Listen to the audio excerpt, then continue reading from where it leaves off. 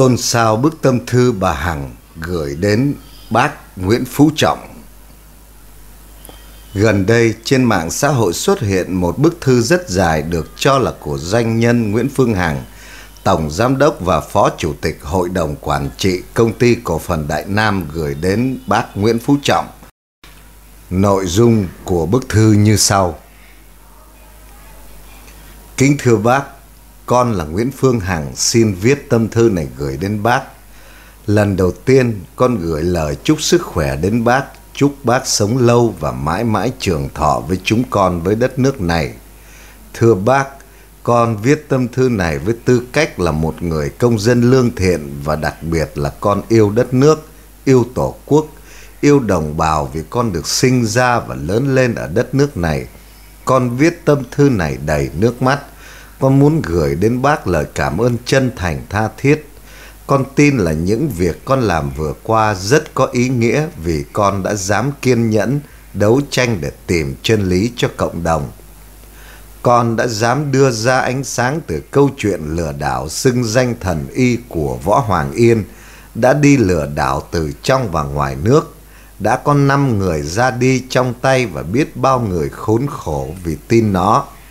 Sự thật phơi bày và giờ đây một tập đoàn to lớn gồm những tín đồ phe phản động, nhà báo hai mặt, luật sư hai mặt, kể cả một số người đang làm việc nhà nước đã giúp cho nó và tập đoàn to lớn của nó tồn tại đến những 14 năm. Mục đích cuối cùng của chúng là lừa gạt đồng bào và buôn bán tiền ảo để rút rụt đồng bào, dân tộc để chuyển qua nước ngoài và tiếp theo đạo đức tư cách văn hóa của nghệ sĩ đã biến chất đến mức cũng ăn chặn tiền của người dân ủng hộ tiền cho đồng bào lũ lụt miền Trung. Chúng thi nhau kêu gọi, thi nhau ăn trận và thi nhau làm giàu lên bằng niềm tin mà mọi người trao cho chúng. ba Chính con đã lên tiếng 6 tháng nay để ngăn chặn cả những hành vi tiếp theo của bọn chúng. Kính thưa bác, con là một người phụ nữ với tuổi đời 50 tuổi, không còn trẻ nhưng chưa quá già để nhận biết đúng sai. Chỉ có một mình con đối đầu với bao thế lực. Chúng nó tấn công con và muốn con không thể nói ra bất cứ điều gì để con không còn được nói lên tiếng lòng yêu nước, yêu dân của con như yêu chính bản thân mình. Thưa bác, con là tổng giám đốc của một công ty lớn thương hiệu là Đại Nam, khu du lịch lớn nhất Việt Nam. Chúng con tạm gọi là thành công. Chúng con mang hết thành công đó dâng cho đời. Toàn bộ lợi nhuận chúng con có được dâng 100% qua quỹ thiện nguyện trái tim hàng hữu và thực hiện bao nhiêu thiện nguyện khác đó là sự thể hiện tấm lòng của chúng con đến với đồng bào cả nước và chính con, cũng là nạn nhân của thần y lang băm võ hoàng yên. Con thấu hiểu được sự lừa đảo tinh vi của tập đoàn to lớn của chúng. Tập đoàn của chúng nó lừa đảo quốc tế. Điểm xuất phát của nó là tịnh độ cư sĩ tôn giáo để làm vỏ bọc. Và giờ đây hàng triệu triệu người dân đã thức tỉnh thực sự trước những gì chúng đã làm. Những gì con làm, con đã làm, những gì cần nói, con đã nói. Mục đích của con là muốn mọi người thức tỉnh không bị chúng dẫn dắt. năm Từ thiện nghe hai tiếng thiêng liêng, nhưng giá trị đã bị mất đi bởi lòng tham vô độ, vô đối của con người nhiều thập niên qua ai cũng ngỡ là ca sĩ, kịch sĩ, hài sĩ là một nghề cao quý lắm. Thật sự nó rất cao quý với những người yêu nghệ thuật, yêu nghề xem là cái nghiệp của mình. Nhưng ở trong phía nam này có một nhóm người đã mượn danh ca sĩ, kịch sĩ, hài sĩ để đi sống bằng nghề từ thiện, quyên góp tiền lừa đảo nhất là mỗi trận bão lũ về miền Trung, chúng lấy tiền nhân dân làm của riêng, thi nhau kêu gọi và thi nhau ăn chặn. Chúng giàu bất chấp và miệt thị khán giả. công chúng với những lời lẽ không thể chấp nhận được. Chúng tổ chức ra thành nhóm, tổ chức mua giải của cuộc thi và biết bao nhiêu việc khác để làm cho văn hóa nước nhà bị xuống cấp. 6. Nhân tài thật sự thì không còn đường với tay chúng. Người có tiền thì không có tài, người có tài thì không có tiền. Chúng làm những điều xấu không thương tiếc, đạo đức văn hóa bị xuống cấp, thật nhức nhối tâm can. Con đã không cam tâm đứng nhìn, nên con đã lên tiếng suốt 6 tháng trên các kênh truyền thông, hơn 200 bài phát biểu của con trên cộng đồng mạng trong và ngoài nước để thức tỉnh mọi người. Bác ơi, yêu nước khổ vậy sao? Xin bác đừng tin con mà hãy tìm hiểu những gì con đã trình bày. Như trên, con đã dám tố giác tội phạm mém chút con thành phạm tội vì con quá sức bức xúc vì con chỉ có một mình mà kẻ muốn hại con và bụng miệng con hơn cả trăm ngàn người cùng lúc. Hiện nay, con và tất cả mọi người yêu nước thương dân một lòng hướng về bác với niềm tin mãnh liệt là bác sẽ lắng nghe và thấu hiểu cái khổ đau của người dân yêu nước như con và mọi người chỉ mong sao bác hãy dọn sạch những loại văn hóa không tốt này ra khỏi cuộc sống đời thường của người dân trả lại sự bình yên nhất là văn hóa nước nhà cho thế hệ trẻ sau này 7. Con xin nêu đích danh một số nghệ sĩ đã ăn chặn tiền từ thiện, tiền của nhân dân. một Hoài Linh, hai Đàm Vĩnh Hưng, ba Trấn Thành, bốn Hồng Vân, năm Trang Khản, sáu Công Vinh Thủy Tiên, bảy Việt Hương, tám Ông Đoàn Ngọc Hải, chín Kim Cúc. Đây là những con người có tổ chức quyên góp từ thiện, đang là dấu hỏi lớn trong lòng công chúng. 8. Qua tâm thư này, con cuối xin bác hãy lắng nghe tiếng lòng con, cũng như tiếng lòng của hàng triệu người dân, mong tin cơ quan chức năng vào cuộc sớm nhất có thể để yên lòng sống và cống hiến. Qua bài phát biểu của bác, con đã rơi nước mắt và thầm biết ơn bác. Một lần nữa, con chúc bác được nhiều sức khỏe và mãi mãi là niềm tin mãnh liệt của chúng con.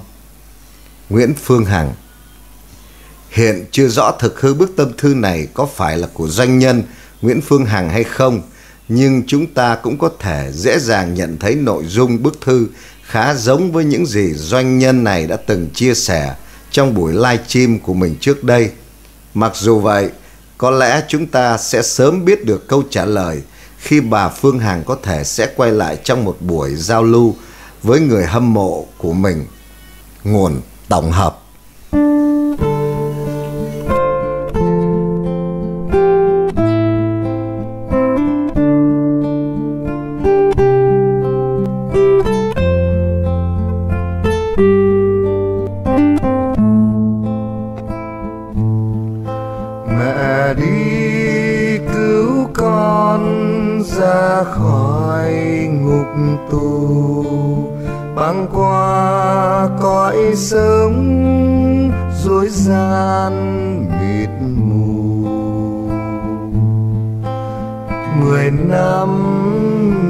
mai nước mắt mẹ rơi.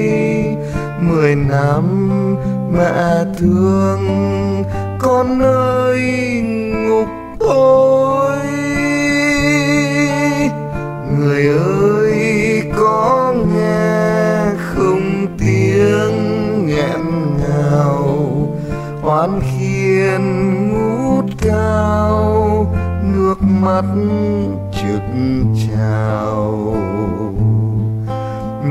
mẹ đau, mẹ gào, xe cứu ruột gan.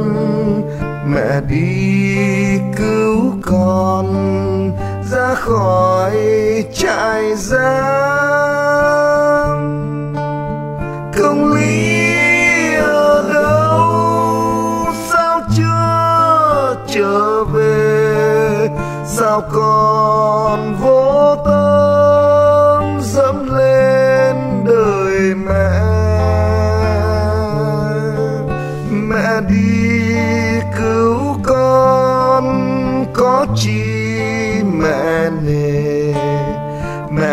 mẹ vượt qua đoàn người u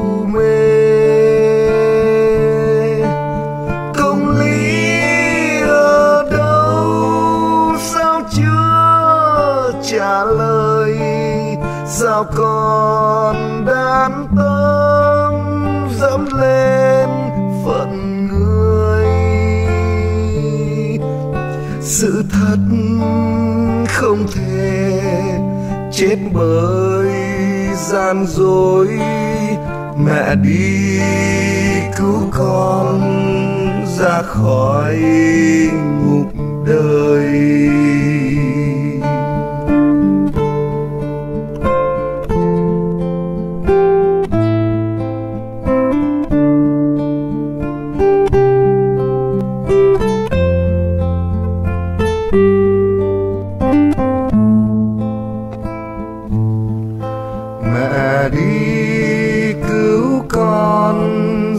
Ra khỏi ngục tù. Băng qua cõi sống dối gian mịt mù. Mười năm miệt mài, nước mắt mẹ rơi.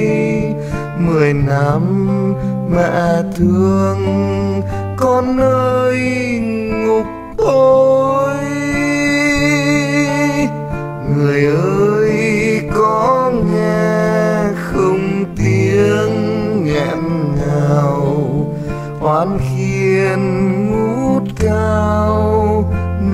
Mắt trước chào.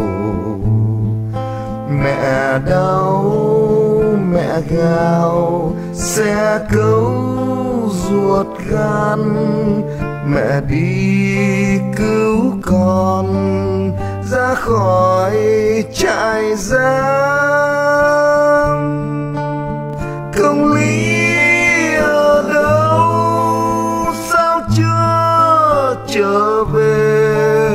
Sao còn vô tâm dẫm lên đời mẹ? Mẹ đi cứu con, có chi mẹ nề? Mẹ phải vượt qua đoàn người u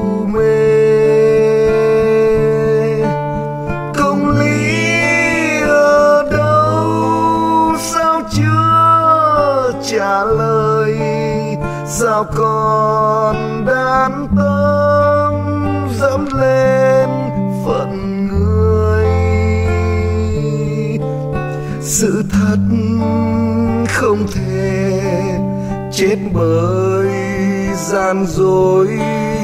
Mẹ đi cứu con ra khỏi ngục đời. Sự thật không thể chết bởi gian dối. Mẹ đi cứu con ra khỏi ngục đời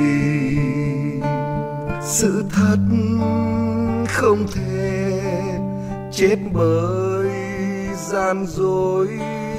Mẹ đi cứu con ra khỏi